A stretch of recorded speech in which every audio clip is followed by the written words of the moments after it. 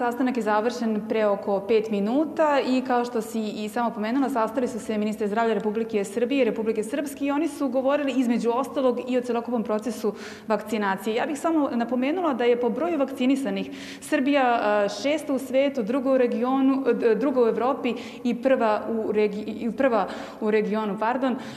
Poslednjih dana su naše zemlje vakcinišu i zdravstveni radnici iz Republike Srpske i upravo su o tome danas razgovarali ministri zdravlja, koliko da sada zdravstvenih radnika Republike Srpske vakcinisano u našoj zemlji, reći će nam ministar zdravlja, dr. Zlatibor Lončar.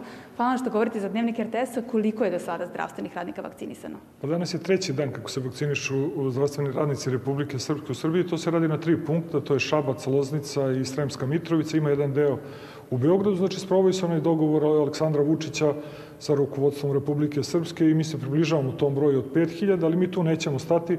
Sada sam sa ministrom zdravlja Republike Srpske dogovorio i dalju ovaj, saradnju, odnosno dalju vakcinaciju, a to je za one ljude koji mogu da dođu do, do punktova gde se vakciniša. On misli na zdravstvene radnike i osoblje koje radi u domovima za stare, a onda misli da sledeći budu njihovi zdravstveni radnici koji rade u privatnom sektoru i tako dalje. U svakom slučaju nastavit ćemo i taj broj se približava, ja mislim da će danas i već biti do 5000, a onda idemo dalje. Šta ste se e, još dogovorili na sastanku?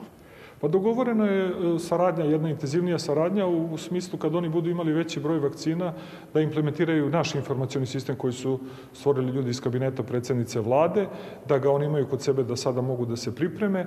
Dogovorili smo e, bližu saradnju između Instituta za javno zdravlje Batut e, da mogu da prate neželjena dejstva vakcina i svega onoga drugog što je bitno i sa našom agencijom za lekove kako budu dobijali vakcine da ne moraju da prolaze put koje je prolazila naša agencija kada nešto radite prvi u svetu, ovaj, mnogo će biti lakše kada i mi pomognemo sada u tome i to su samo delovi onoga što smo dogovorili, ta saradnja će se nastaviti i dalje. Dobra vest za sve naše građane. Jutro ste potpisali ugovor sa kompanijom Pfizer. Šta on obuhvata?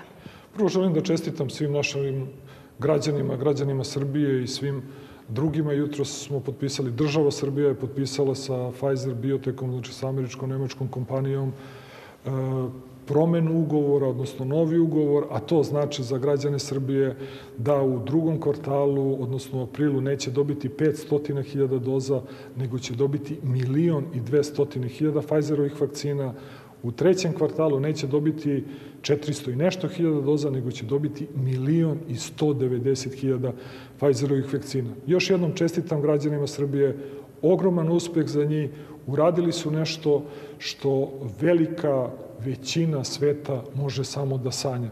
I treba da budu ponosni na to, to je njihov uspeh i svakim časom tome. Ministre, hvala vam na svim ovim informacijama. I Ivona, ja bih još samo za kraj da dodala da će se danas u aktualnoj epidemijskoj situaciji razgovarati i na konferenciji za medije u 15 časova.